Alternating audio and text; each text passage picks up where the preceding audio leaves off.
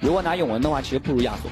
主要这几手亮的都不太符合版本，嗯啊，包括这个沙皇也好，还是辛德拉也好，都不太符合我们现在认知的这个战士横行的版本。对啊，我觉得杰斯还行，因为其实，在左边办了左一的时候，你可以明显能感觉到，我觉得就 V 五这边好像是忌惮对方组成一个破壳体系，特别大的防守压力。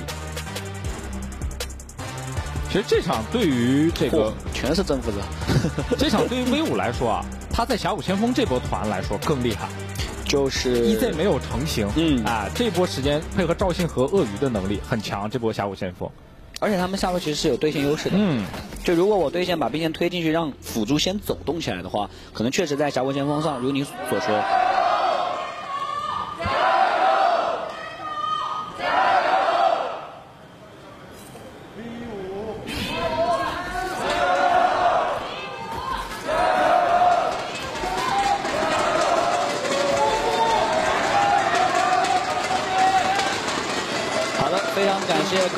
师给我们选手的应援啊！嗯，因为其实你可以看到，在张前版本为什么卡莉斯塔会出来？一是这个版本 AD 多数偏工具人，包括维鲁斯，对吧？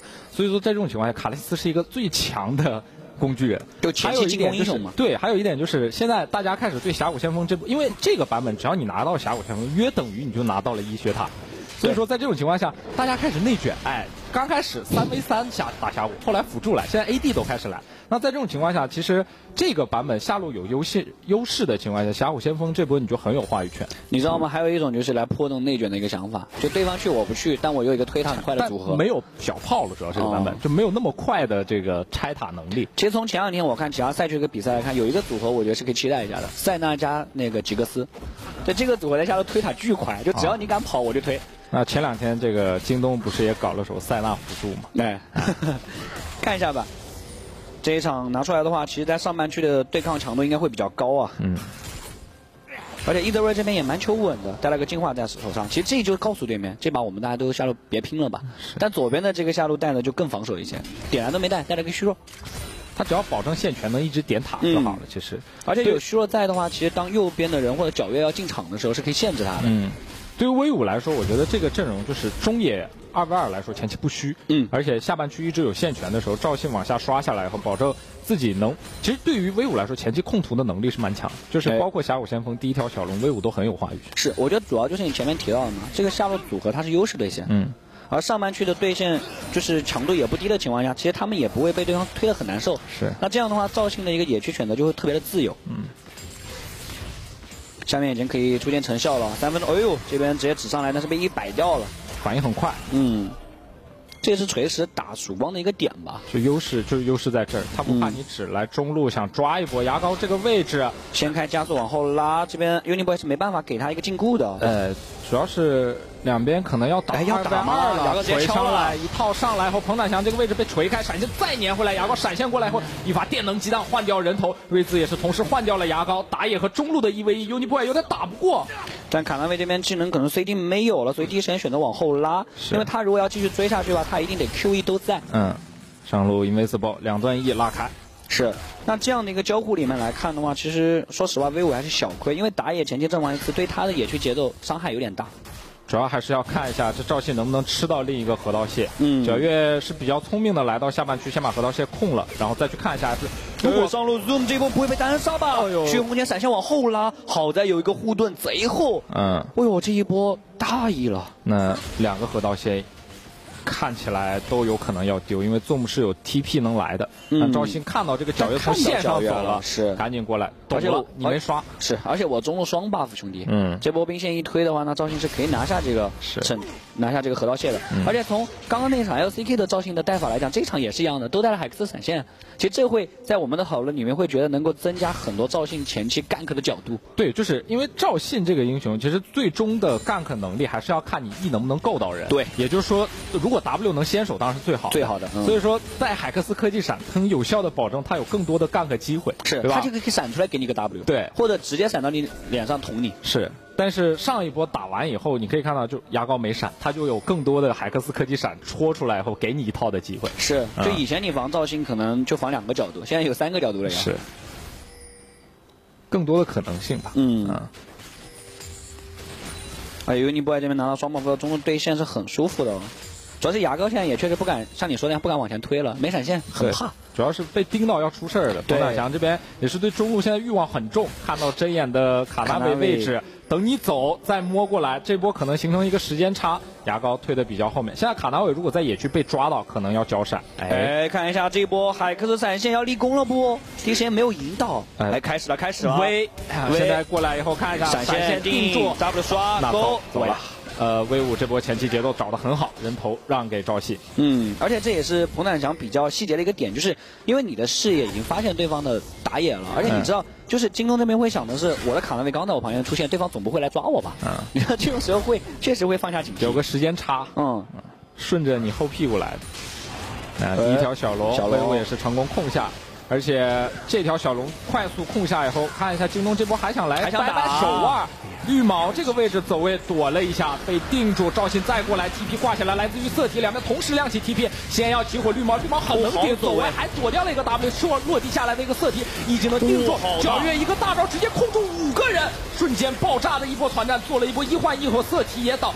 牙膏过来以后一发电能激荡，并不是加强的一炮啊。Kepler 这边是吃了一个灯笼，Invisible 再交闪现，最终虽然是爆炸的一波 AOE，但是只打出了一波一换一的团战，还想再找鳄鱼的位置，但是在塔下回城。这波没办法，因为左边的人数要更多，牙膏是慢慢的赶过来的，所以导致第一时间京东是四打五。但因为皎月的一个大招接赢了，主要是是啊，就如果不是那个大招的话，感觉这一波 JDG 下路可能会有点小炸。是。不过对于 V 五而言，比较好的一个消息就是他们还是拿到了自己的第一条小龙。嗯。因为每一条小龙其实对于他们而言都有可能是接下来发育的一个资本。卡纳维这个先升六很关键啊，太关键了。来看一下这波团战，绿毛主要是躲了太多的技能了，他一直在走位，闪现过来定触发一下余震，然后开始摇位，躲一个 Q，躲一个赵信的 W，嗯，然后来了一个 E 技能进场大招定五个，而这波 AOE 瞬间拉满，是，但自己也没办法，因为进的太深，所以被对方给击杀掉。如果没有卡纳维这一下的话，这波应该是京东要出大问题的，炸的，对，嗯。而 LPC 其他侧也是在疯狂输出，但奈何这是个 e h e r Real，而且第一线因为回家补了个女神泪嘛，嗯，打伤害的能力并不强。但我还是觉得这个版本 EZ 能火起来的原因之一，就是因为神分的这个小件合成太平滑，太平滑了。它避免了像以前 EZ 出一个耀光，出一个女神泪完全没有作战力的这种尴尬。因为现在女神泪四百块很便宜，就是个出门装嘛。然后耀光七百很便宜，是四舍五入省了一个亿。哎，啊，就起步就领先了啊。来吧，还想再针对一下，一颗眼扎下去，知道有人了。现在牙膏闪现还差一点。对，威武想这个把把对方这个闪现的时间压缩到极致以后再来一波。是，而且这一波把辅助叫过来的话，我感觉赵信的位置是不是要动小火先锋啊？他已经太捅了。是，毕竟这个阵容就是在前期对抗上来说，威武还真的不弱啊，不弱的。特别是在上半区的对抗，四 v 四的一波团战，两边 AD 都没有来，这波来的慢一点，来不了啊。落不住位置，主要是锤石，只要一旦消失视野，你很难往里走。主要是色题这个点被推线了，啊，不在被推线之后，他必须在正面处理。那这样 V 五又拿到了小五前锋，他前期优势还真大，挺大的。嗯嗯，而且这个阵容其实拖下去以后挺强的，他们的后期能力，我在我的角度看来，我觉得是要比右边更好的。你毕竟从双 C 的属性来对比的话，也是这样的。主要主要，我觉得 V 五的后期能力优势在于不一定是打团不一定厉害，因为其实你可以看打团，京东拉扯能力很强。是，他强是强在，如果他一旦有优势，可以先推线，这锤石一旦消失视野，对于京东来说很头痛。哎啊，而且因为有瑞兹的一个存在，导致他们转线会很灵活。嗯。而且左边你知道，就发育到后期的话，他们甚至能够 rush 大龙，是，就也会给对方就右边吧很多防守大龙的一个视野压力。就简单一点，威武在中后期有优势的时候，赢法更多。是，他可以单带，他可以抓边，嗯，他可以这个埋伏。但京东的话，可能就更多是要打正面团了，他要靠威武的拉扯来 poke 你。是啊，因为其实威武的开团属性强是强，但是同样京东的拉扯属性也很强。嗯啊。主要是前面你提到的双 C 够灵活，是。够灵活的情况下，可能在第一波操作上限高，嗯，都打一炮。但这一波的话，应该是要逼近野区了，可以反一下对方 F 六，哎，一技能踩点打打一炮，是。能被小兵挡。主要是也知道对方的锤石不在，而且这这个红区有人，现在是对于威武来说是名牌知道的，所以不太敢去过分的换血。是，这兄弟好装，没办法就让他装吧，没办法，你还能打他就行了啊。是，野区有蘑菇。嗯，看他未来的下路，嗯，这个。可以看到张一凡已经是拉到了一个想约吗？中路兵线处理好了，牙膏是在往这边靠的。嗯，中路有 TP 一直没有指到，把兵线压进去，但有点打草惊蛇主要是瑞兹在中路是知道的，但瑞兹手里的 TP 已经快好了，差一点点。看一下这波想硬越吗？张一凡已经走到了一个随时能给灯笼的位置，不太敢，不太敢。就锤石这个架势，防守架势一百，右边就知道这波干的可能没什么太大的。主要京东想越这波塔，越这波塔的最大的倚仗是皎月把下半区的两组野怪反完了以后，在 F 六还留了一个视野，他明确知道赵信是一定不在下。对，但是合计了一下，不行，这个瑞斯有 TP。是。啊，而且我觉得也是你刚刚提到吧，张一凡那个位置给灯笼太好了，是。右边的先手给个厄斐罗斯，他又有进化，对，第一时间一定是能容易被操的，是。尝试一波啊，小龙马上就要刷新了。呃，威武今天打得很整体啊，鳄鱼直接就往这边靠是没有 TP，直接先落位，而瑟提没有 TP，这波对于京东来说可能就就闭眼放了啊，闭眼放，因为上路已经密死了，鳄鱼一直没出现在正面的视野里，是，这就是威武这个阵容一旦有优势以后的强势的问题，就是锤石只要有优势，野区你不敢随便钻。钻了就可能死。是，但对于 JDG 而言，其实他们还有一波，我觉得就是说他们有一波尝试期，就是前面提到的双魔切成型。是。二十分钟左右的那一波，其实 JDG 是可以逼迫左边来接一波团的。在那个时候，如果他们能打下来的话，其实对他们而言，后续还有操作的空间。对，因为我们一直聊的点就是。操作上限更高，京东不管是这个上野的配合，像小月刚才打出那种爆炸 A O E，对，还是靠 E Z 杰斯的灵活拉扯，然后打出很多的破口伤害，操作上限都更高了。来，把峡谷先锋给下，保 Kepler，Kepler 这边应该是能吃到的啊。是，毕竟是个厄斐琉斯啊，这边点了一下镀层都已经拿掉一层，哎，一技能也是没有指到，峡谷先锋再一撞，呜，把勾到对方 E Z Real 逼出对方的一个进化，这把锤石玩的明白，很辅助啊，嗯，镀层我不吃，灯笼我随时给。反正就保护自己 C 位的一个发育嘛，嗯，想得很清楚。侧翼的话，Uniboi 是拉着牙膏撸了一套，双方换了一波血量，挤牙膏是吧？这挤牙膏是吧？就瑞兹那 W 其实还真有点感觉。符文金箍，卡纳维的话也是在河道里面四处游走啊，想找一些机会。可是 vivo 这边摆出了一个架势也是分毫不让，就一点机会都不让你抓到，很难受。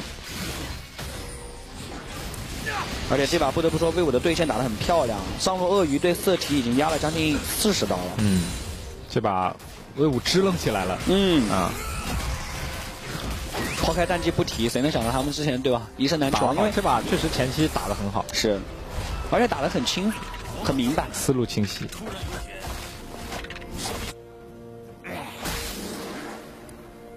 下一波小龙还有三分钟，峡谷先锋应该快来了。这波峡谷先锋团，京东还是不太好接，还是不太好接。他们现在这波想接的话，我觉得要倚仗卡纳维跟上上野的一个配合，就宋跟卡纳维打出一波漂亮 A O E，我觉得可以。但现在问题是杰斯在翻译没有很好的情况下。但是他现在已经能打伤害了，这个我觉得最大的问题就是你下路去了，塔就没了。魏无可以选择放，你不去，这波两边 AD 都不参战的话，你伤害可能就差那么一点。对啊，所以说要靠上野打出非常好的 AOE，才可能能接得动这波团战的情况下，京东这波峡谷先锋其实还是有一点困难。是，而且现在的问题是，就左边真的控地图资源有点太快了，对吧？节奏有点偏快，而京东的话其实还是没有等，就他们还是要等到这两边套的时候会更强一些。主要威武这个上中野的点控秒杀能就点杀能力太强，对，只要留到一个人，这个色体未必都能活下来。主要是右边也吃不了伤害，嗯。而且你可以看一下双方上野吧，一个装备的对比，其实鳄鱼这边领先还是幅度很大。是两颗针眼，哎呦，赚钱了，赚钱了。很懂事一勾，勾了一个回身走位的位置，EZ 拉大，清一下兵线。也朴实无华，根本没有想说，因为知道对方一定会要技能的，嗯，也没有想着说要去预判一波。峡谷先锋侧翼的话，JDG 已经开始布置一个视野了，这边是要想要抓一下鳄鱼吗？鳄鱼的位置有点太深了，他在做视野。呃，看一下这波能不能跑一个大招，开大闪现再拉开，小月闪现上来以后推推棒再平 A 两下带走人头，这波 Invisible。确实没什么道理，因为自己的这个兄弟都在下半区，福也是站在对方针眼上拆的，他敢在这个位置换血，那确实只能出事儿了。是，但可以看到 JDG 这一波的选择啊，因为击杀对方的上单之后的话，是把辅助也在往上半区调度，那这样的话下路一塔是平白的就放给了对方，这边算得上是一个资源的互换。就我觉得这波就信念的问题，确实因为现在本身应该是这个一塔，然后包括这峡谷先锋都应该是 V 五的。对的。但是 Invisible 站的位置敢主动在三角，其实这个位置他那边他应该在排眼。如果说对方杰斯如果 miss 了，他甚至要退到二塔的位置。是啊，但是他就站在这硬换血，换出事儿。你要这就是一个睁眼引发引发的血案，因为他特地先打了一下睁眼钓鱼，嗯，钓到个鳄鱼，是咬钩了，嗯。而且主要是皎月，因为前期的发育比较好嘛，这一波打下来伤害也足。因为如果他真的想活的话，除非我觉得是要把皎月的二段伤害给规避掉。主要是小伏笔了，这个皎月现在是青铜最强的那个战力。皎月其实一两件套的时候做伤能力真的很夸张。嗯，主要是你知道皎月，我觉得这个版本相比于一些其他的野核来讲，因为它第二件就可以出金身，这样它其实进场的容错率是很高很高的。主要。就是我，我觉得最大的问题是，你看一下 V 五这个阵，他不灵活的，皎月是有机会冲进来拽起人来的。是，嗯，所以说，让皎月加速发育对于 V 五来说是最危险的事情。嗯，这一波 GDG 的双女神类装备还没有出好，但已经在往中路站着给压力了。这波小龙感觉京东是肯定想接，能接，而且张一凡这边已经被 EZ poke 到了半血，视野上来说，鳄鱼没来到正面，Zoom 已经准备回城挂 TP 了，下路先锋放到中路中路啊。这波是一个小六打五了，嗯，但双方因为上单都有 TP，所以是第一时间可以都赶来的。但这波 Zoom 的话是选择直接腿着过来，峡谷先锋看一下这波能不能护送过去。对于左边的话是有一波 rush 掉的机会。把上路的兵线处理完，要看一下威武的动作。永霜先定住视野被排空，一旦站住视野的京东 poke 能力在阵地战上就会发现比较好的效果。随时先顶上来，鳄鱼 TP 到了另一侧，瑞兹取经折月，但是没有进车，龙已经被拿掉了。看一下这波正面团，鳄鱼先开大反落，赵鑫先顶进来，卡纳维交出自己的秒表，尼塔的大招并没有刮到人。侧击进场以后，血红拳直接带走鳄鱼。赵鑫临死之前换掉了对方的人员以后，一波三打三的残局。残局能力上来说，京东看起来更猛啊！两个 C 位均活在场上，EZ 继续拉扯，一炮直接带走。Uni 怪只能选择永双，然后配合锤石的灯笼拉走。这波这一波右边双 C 的 poke 伤害上，开普勒都没反应过来，他手里是有闪的，但没想到直接被箭射死了。威武乱了呀这一波。嗯，这波硬接我只能说 Zoom 打的太好了。他把前排抱走之后，在后排把所有人都拖住，而且硬杀了一个。主要大局上来说，确实京东这个残局能力真很强。嗯，拉扯能力强嘛。是。再来看一下这波，我本来以为另外会把赵信送下去，嗯，但没想到赵信第一时间在正面先顶上来开大香蕉卡纳位，交出自己的秒表。嗯，维特博进场基本上没做太多的事情就被秒了，就被抱走了。啊。而后续二换二之后，上野的兑换之后的双 C 拉扯能力来说。这个时候的威武就显得很脆弱了。嗯，他们主要是有一点点不敢往前走。哇，我我我觉得开普勒他可能觉得是这一炮应该会打到瑞兹。呃，硬要说啊，我觉得这波兑换威武小亏一点点，因为人头上是三换二。对啊，但是你可以看，我觉得最重要一点就是那个峡谷先锋引发的蝴蝶效应。如果说 V 五正常运营，Invisible 不出问题，峡谷先锋拿到。这波中路先拿到线权的 V 五，如果坐镇这个河道区，你京东也很难顶进来，你进不来啊！而且很重要的一个点就是说，随时就有发挥的空间了。是，嗯，那你可能的一个站位就没有那么分散。嗯，主要是你这波峡谷先锋一丢的话，让京东把峡谷先锋往中一站，把你的人扯在那儿了，就导致你丢失视野之后，其实京东就会打得很舒服。嗯，京东靠着在上路抓到的破绽，一波就把经济翻了回来，而且这个阵容迎来了自己的强势期，马上了。其实我觉得已经来了，就马上是绝对强势期了，因为双魔天马上就好了。因为我看了一下伊泽瑞尔这边海上还是没出，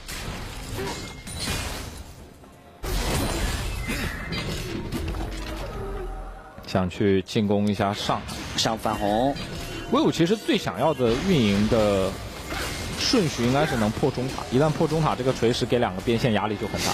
但现在但现在有点难。呃，中塔第二个峡谷先锋没拿到，中塔屹立在这里，对于威武来说想运营就比较困难。因为你可以看京东现在的分线是让杰斯去找鳄鱼，继续去一打一的单带，这个优势嘛。对，这个杰斯现在去打鳄鱼是不困难的。嗯。来到上半区，赵鑫先蹲一下，遇到了遇到了，你扫到我啊，我扫到你。是大刀直接下出了一个爆炸果实，但这一波想追吗？牙膏，这位置有点深哦。看了一下，因为自己的队友技能也都交没了嘛，不选择再上了。而杰斯这波来支援也没有太多的成本，他下路刚刚刚把塔这个一大波兵线送到二卡线，所以说他现在走回去又是一波反推线。嗯。而且他现在其实是想找人打架的，他要叠一下魔切，哎，开起来了，雨坦被留住绿毛这个位置走不掉了，直接选择卖掉。呃，威武现在其实你可以看到京东对于大龙还是很有防范的，因为威武这个阵容打大龙速度快的。对的，嗯，因为有厄斐琉斯跟瑞兹嘛，两个大核在，所以京东还是一直要给大龙那边视野。不过这一波少了人之后，可能是给对方一波推进中路防御塔的一个机会。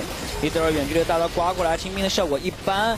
这边的话，疯狂的点塔，对于这 D T 而言，这波太难守了吧？直接选择放掉了。嗯。那说实话，绿毛这波的阵亡对于 GDG 的影响还是挺大的，因为刚刚提到过，中路防御塔一直不破的话，其实对于 V 五的接下来进攻，包括视野布置来讲，都会受到很大的一个限制。但这边中塔一掉，其实对于双破的阵容而言，这样他很容易就是视野也做不好，主要是约会丢视野。京东这个阵容还是阵地战厉害，是就是站住位置跟你打很厉害，但是。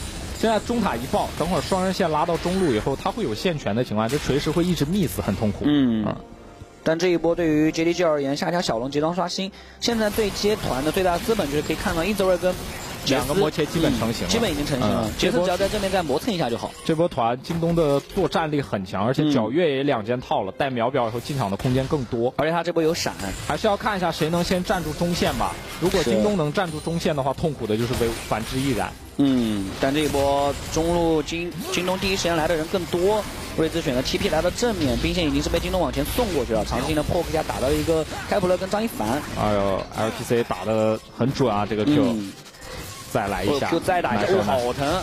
进不来了，现在有点是 Q 技能持续的维护，哇！再配合杰斯这一炮，那可能威虎这波小龙团都接不了了。看一下有没有人去上路换一下上塔吧。看一下鳄瑶，鳄鱼这个位置是在抠队友来打这波团，他因为这波觉得自己的位置特别好啊，位置不错。皎月已经开始偷偷打起来了，只有一个人在打。嗯，那这一波鳄鱼的一个蹲伏，可能就只能在真的蹲着了。是，这就是。运营的老辣呀，嗯，看到了看到了，但鳄鱼这边敢进吗？瑞兹选择开车过来，是有车，车上有人没上车，我没上车呀，这波车好像有点送了呀，阵容上有点割裂感。哎，赵鑫抢到了，抢到大龙以后，赵鑫再进场，鳄鱼这个位置过来后，直接先带走皎月嘛，皎月开起来个护盾以后，触发征服者再回一波，一个闪现的一个 Q 技能，逼出了对方 AD 的一个净化。正面的战场上福野先到的情况下，京东只能抱头鼠窜。哎，这波可能还会丢大龙的。哦呦，这波开车。太灵性了，只能说从结果来看太灵性了。因为第一时间感觉其他人也不敢上车，因为 ADC 都不在的。嗯。他的远距离给了个清辉燕宁。哦，京东这一波只能叫 TP 过来防守来的这个 Zoom，但自己的打野不在，有人能抢吗？双 C 是能够 poke 的，勾勾到杰斯，一百百两个。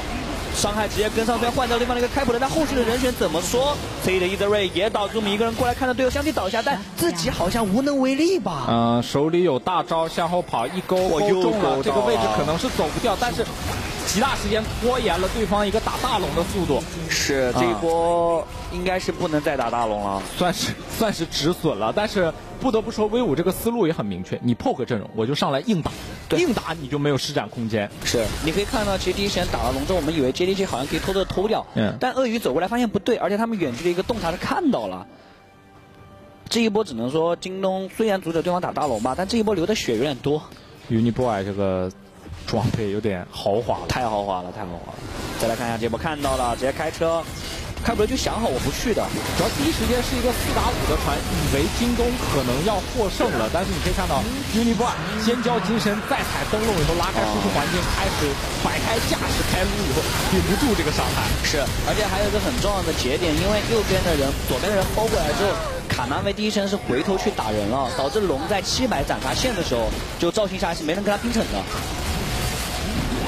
不得不说，张一凡这个锤石有东西的呀。嗯，张一凡这把锤石玩好。嗯，主要是这个阵容一旦让赵信进到你的团战中间，你的双 poke 阵容就会比较无力。你会很怕这个英雄，因为他的大招一开，你另外一个 C 位是一定没办法输出的。是。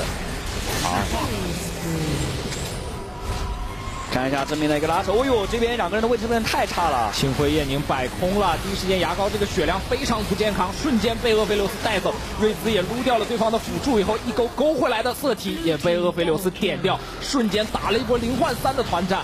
LPC 只能看着对方的一个大鳄鱼，并没有什么太多的办法，只剩下一个卡纳维手里没有闪现，看一下要先处理一下这个鳄鱼，找到了卡纳维的位置，先打一套卡纳维，交出自己的红惩，没有惩戒了。那这一波惩戒的时间上来说，还有将近十几秒的时候。凯普勒被 EZ 的一个大招刮住，但皎月现在最大问题下不去啊！那这条大龙放了。是的，而且凯普勒现在手里的枪也很好，把血量回复上来之后，反手换一个自己的绿白刀，我直接 RA 掉了，而且是全员都在的情况下，双 poke 阵容最怕什么？掉塔、掉视野、掉大龙。嗯。然后这一把的话，基本上都是让 vivo 做到这样的一个成就了。我的天，而且。左边七杠零杠八以及四杠二杠五的双 C 谁去处理啊？现在右边其实且不说伤害的一个对比吧，你光从坦度上来讲也已经不够了。而且在我看来，我觉得京东真的已经失去说最好的那波强势去推进或者说翻盘的那个机会了。不过对于他们而言，看一下 V 五会不会犯失误吧。不过我觉得以 V 五现在这场表现出来的竞技力，包括他们的那个就是集中度来讲，是不大会犯这种低级失误的。而且现在对于京东而言，抢龙的机会也没有，因为大龙已经被打掉了。接下来将会面对的是 V 五的一波平推。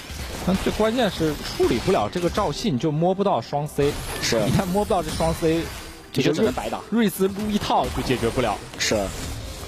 而且京东现在双 POG 阵容，因为一旦有优势冲起来就很猛。他这个赵信只要往前顶，带个秒表，带个血手，其实京东短时间内处理不了赵信。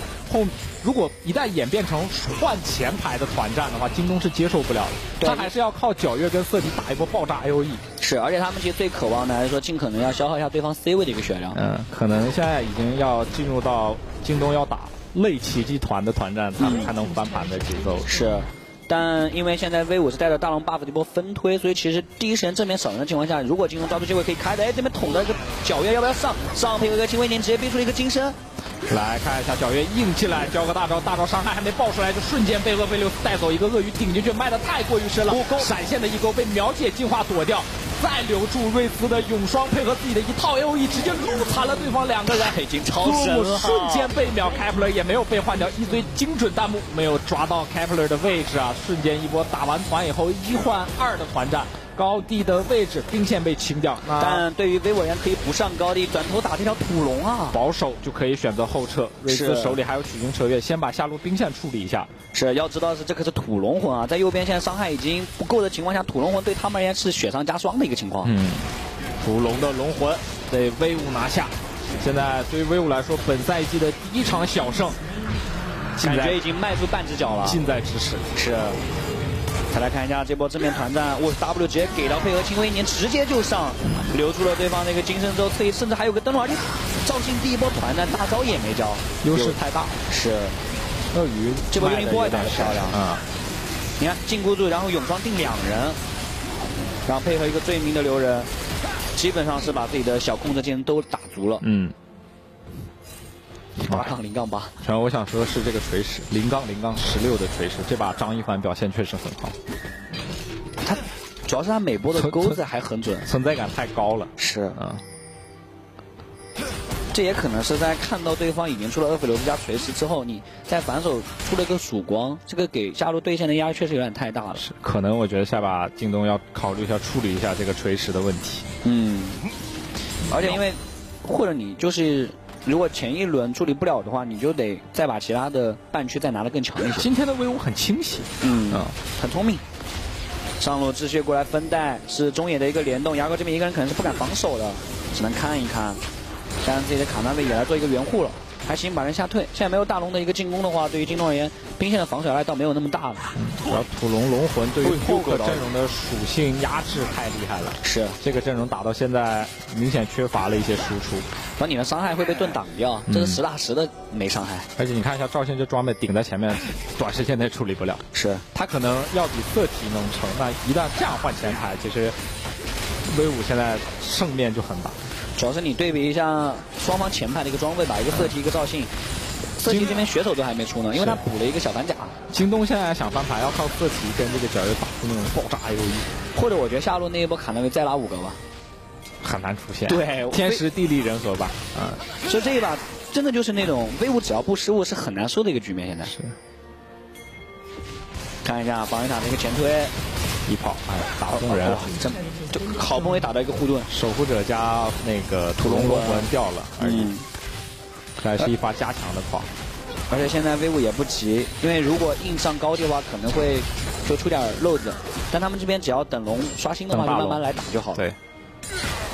而且大龙就是属于那种直钩钓鱼，对吧？你也知道我要打，然后你来不来看？你看的话我就杀人。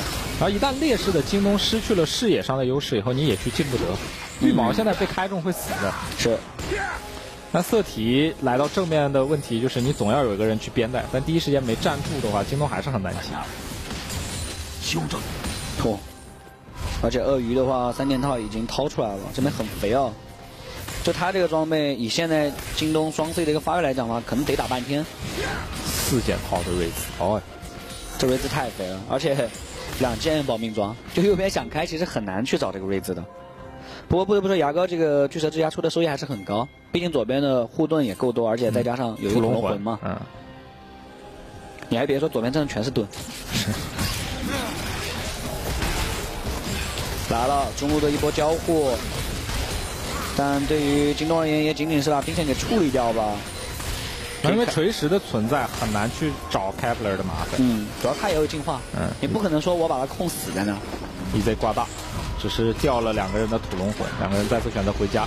回家的 timing 上来说稍微有一些晚了，因为大龙已经刷新。嗯，不过京东这边因为自己打大龙的能力不强。嗯，主要京东应该是知道这个讯息的，因为刚才 EZ 挂大是知道了对方在念回城。嗯，哇，你看到菲罗斯复活甲鱼了。哎，难打难打，这 你看一下这瑞兹伤害一千，一下一千，是 EQ 一下就一千。主要是他打你和你打他是完全两个概念。嗯。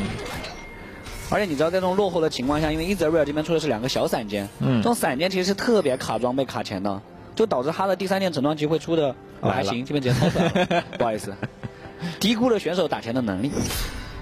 你这三百刀，嗯，看一下吧，这一波 V 五怎么做一个前进的压制？现在京东还是，其实京东背靠防御塔打，我觉得是有机会的。嗯。所以如果能够把战场控制在自己的防御塔前，可能对于京东而言是有那么一点优势。嗯，主要是京东现在在这个大龙坑有一颗眼，队伍没有排出来，所以说京东不是很慌。是啊，你给他在野区的视野压制能力的来说，京东想开开皇冠了，开一勾，挺进拉开。哎，取经折月想开大龙，哎，但是好几个兄弟没下去，有钩子有灯笼可以再带一个，呃，带一个 ADC 吗？但这些第一时间不能想没下去啊。夹大龙真打团，一个大招刮出了放弹墙的位置，一闪现一勾到，逼出对方闪现，赵信一个人进去以后，哇，大圣花火炸开，一波 A O E 拉满，在侧翼的位置上 Invisible 对方五个人的集火，但是就不死啊。一个 E 技能再拉开，赵信再进去，EZ 换掉了对方的锤石，但是复活甲打出来后三杀到手的 Kepler 已经完成了对京东阵容的摧毁，只剩下双 C，京东没有办法再阻止威武去打这条大龙，只付出了一个锤石的代价，而且锤石是因为 Q 到人第二次进场才导致自己就是阵亡的。是，再来看一下这一波，京东想防守的话没有打野在是很难抢的，这个打龙非常非常快啊，那威武是可以很顺势拿下这条大龙。那这个局面对于京东来讲就已经是差到了极点。主要刚才那波开普勒开大，曙光已经是用自己的鸟的硬顶了一下，但这个伤害还是非常可观，就把所有的血量都削残了。是远古龙还有四秒刷新，锤石还有五秒复活，但是对于京东来说，自己的上中辅还没有复活。仅仅是一个皎月刚复活的情况下，EZ 先 poke 一手，元古龙已经开始了，看一下 EZ 跟杰斯能不能创造奇迹了。TP 已经挂起来，来自于色提挂到了中路的位置，但远古龙的血线已经不再允许京东能再拖一拖了，想尝试一下，但一炮并没有抢到，稳稳拿下三龙会到手。威武选择回城整蛊一波来。迎来自己最强力的一波团战，是这波再来看一下打起来的一个回放，在第一时间上车的位置可能大家有那么一点偏差，但最终他们达到了目的，把人逼过来打团。是，然后看一下这波 Kepler 的一波 A O E 闪现过来。这波硬劲花火，这波还是顶了一个鸟盾的伤害，但是没办法，这伤害挺高。没怎么面对到五个人的激活，甚至皎月都把大开了出来。是的，随时 Q 过去二段也是摆了将近三个人，把人都留下来之后，才给了双 C 一波收割的环境。哦，这一把不得不说张一凡的锤确实打的挺漂亮的。而且打到现在这个局面来讲的话，京东光是要处理兵线就已经是难上加难了。现在其实已经失去了自己这个清兵线，这本身京东这个阵容清兵线能力就偏差。是，他们是要打进攻的呀，打优势的。来了，直接往上路集合。这边是让赵信自己一个人在正面处理一个兵线。赵信第三线在上路卡了一下兵线，保证能两路齐推。是。啊，看一下赵信做一个送 buff 的传菜员，在上路大量的兵线压界。上来就被点了半血，下一波兵线又续上了。而在中路的话，赵军持续给着压力。现在京东有点顾头不顾尾，没办法，劣势就是这样的。锤石想来开团，一个加速墙往后退，一勾逼退了对方五个人。上路塔一转中吗？哎，取经折月开起来，带了两只炮车过来，一波直接从侧翼的压进，京东失去了位置，啊，只能再让一座。是，那上中两条线都被推掉的话，V 五还是持续在往前逼，但这一波，哎。为京东的一个 poke 伤害打的还不错，是把不断枪给打残了。后续还要继续打吗？这是土龙魂，可不是水龙魂，是没有回复能力的。但身上有一条水龙，还是回的比较快。你们可以看到，所以的话直接是选择往下转，因为对于 V 五而言，他们可能是想要破三路。嗯，很稳。嗯，对于自己首胜的渴望啊。哎，你别说，这一条水龙魂回的效果还真不错。主要现在赵信在野区也有自然回血。嗯。哎呦，哇！一炮可能还是痛的，但是只要一旦打起来，就有点不太够看了。因为你你两个技能打他一下，E Q 打他一下，他可能掉一个三百四百血；他点你一下，你可能要掉半血。是开的不错，背背回来一个打野，打野一技能再拉开，W 挂上以后秒秒开出来的卡纳韦位置非常之差，第一时间过来再开自己的大招，但大招落下之前就被秒杀。赵信再次跟侧翼倒到绿毛，绿毛只能选择向后撤退，躲掉一个 W，但 Zoom 在前面没有 W 虚域轰拳的掩护下，已经是瞬间被秒杀，一波团战零换二，V 五要迎来自己赛季的小场首胜，羽毛想来力挽狂澜，一直没有指到任何人。虚弱挂上以后卡在自己的水晶前，奈何回不去自己的家。杰斯先到，这波团。威武拿下，也迎来了自己赛季的首胜。是的，恭喜威武拿下第一场的胜利，恭喜威武获得了他们自己本赛季的首个小场胜利啊！那他们迈进自己大场胜利也是向前靠了一步。这场比赛确实打得很漂亮，而 JDG 这边选了一个前中期的一个 poke 阵容，但没有打出自己所想要的效果。